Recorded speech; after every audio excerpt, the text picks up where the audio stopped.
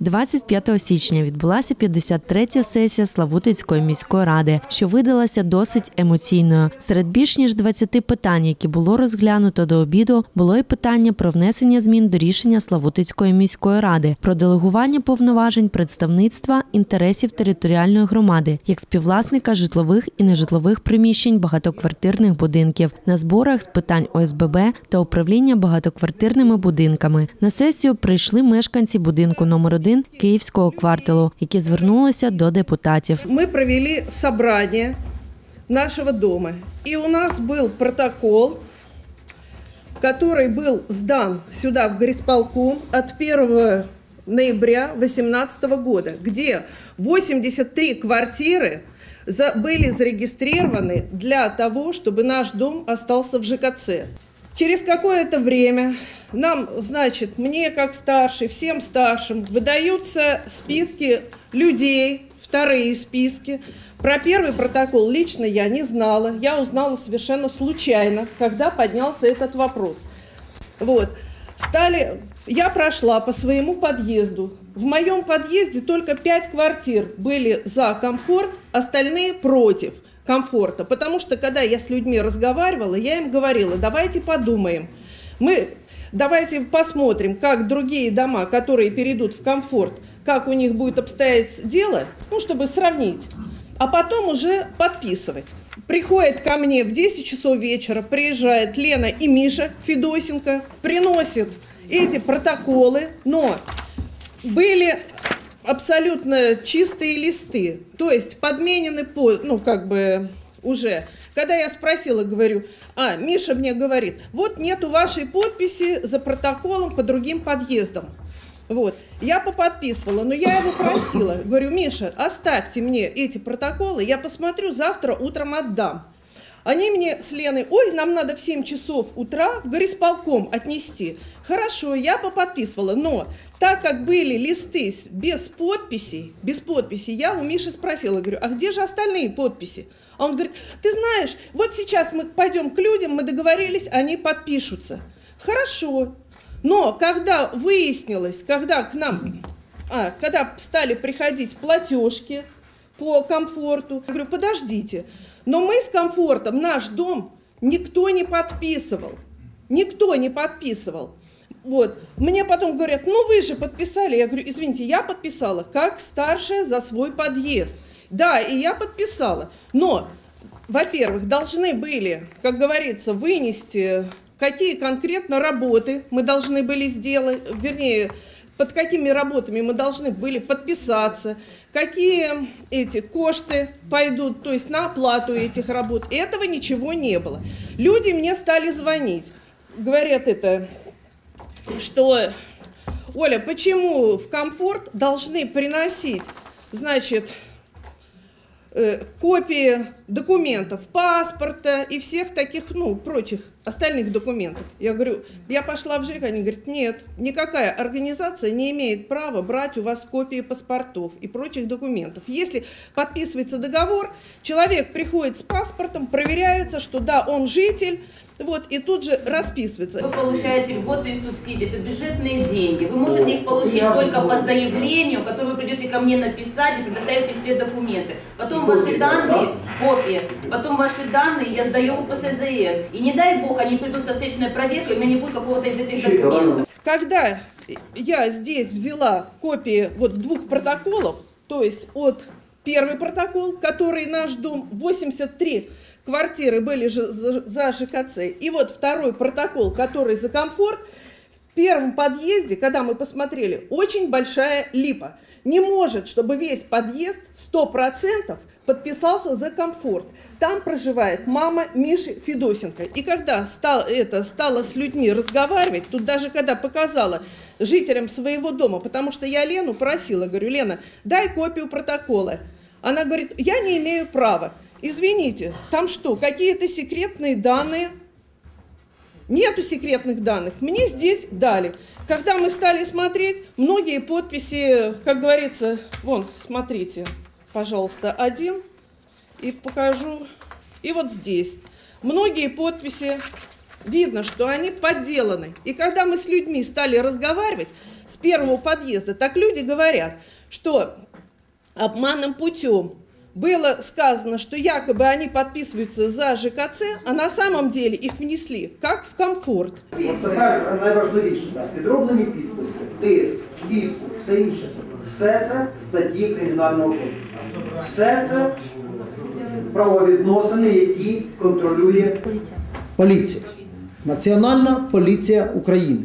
Тому, якщо ви вважаєте, що ці права ваші порушені, сесія міської ради, навіть міський голова тут не може бути суддєю.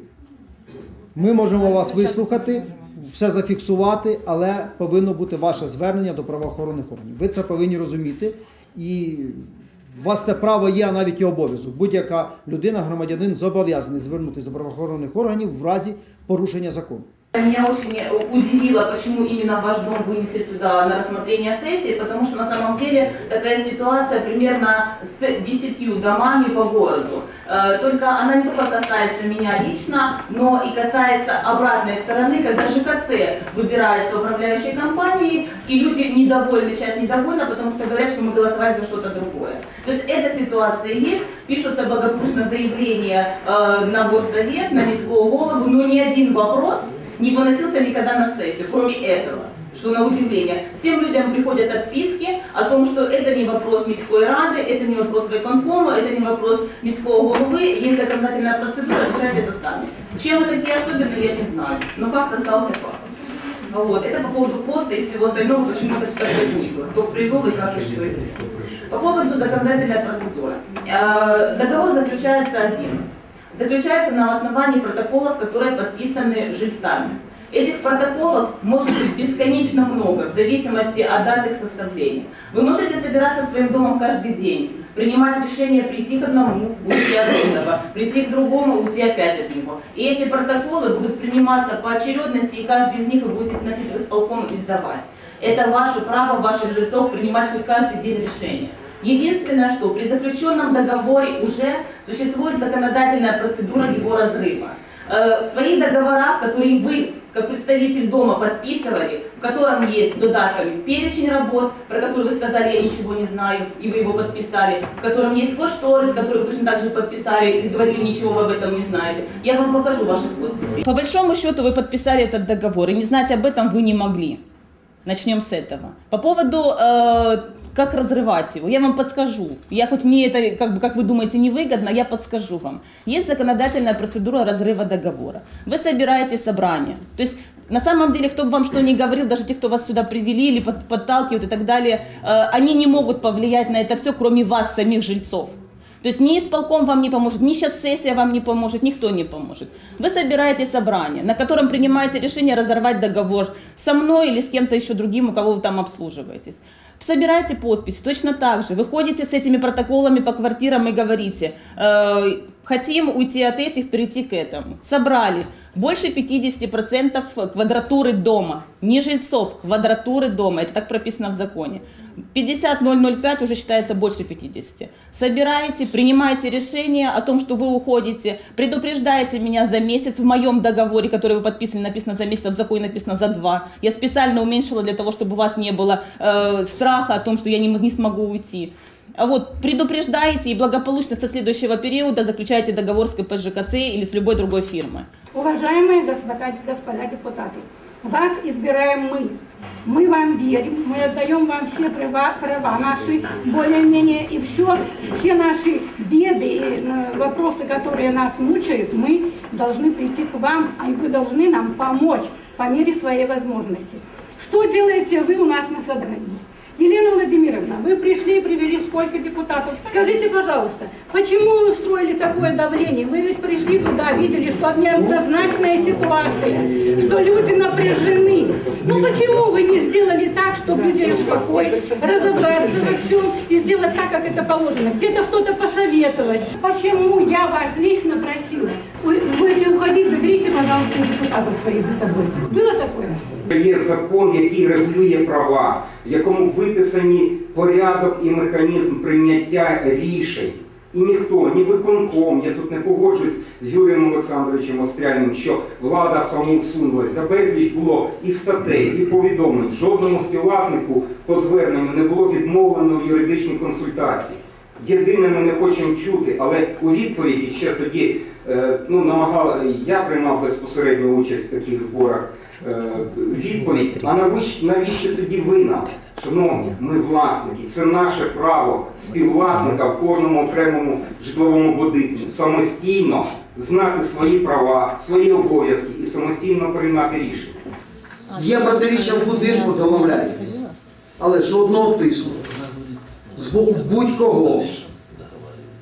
В першу чергу влади і провладних структур, я маю на увазі виконком депутатів, сторонніх організацій, будь-яких комерційних організацій, комунальних, на людей не може бути. Роз'яснення, будь ласка. Взагалі давайте організуємо ряд семінарів для того, щоб людям роз'яснювали, що це таке спеціально для уповноважених будинків. Як це працює, які документи повинні бути? Реформа тільки почалася, вона не досконала. Ми знову там попереду України всієї. Тому що в інших містах ЖЕКи стали управлінськими структурами і все, і на цьому завершили. Підняли тариф, сказали до побачення. В Славутичі є справжня конкуренція, вона є. Це добре. Коли на 15-му, да, чи на 16-му будинку в один день прийшло два двірника чи дві прибиральниці з різних компаній перебирати, це ж класно. Люди могли обирати, хто краще прибере. І я бачу, що ця конкуренція дає результат. А платять вони потім теж дважди. Не знаю, там з грошами як розбиралися. Але ситуація така була. Тому конкуренція це добре.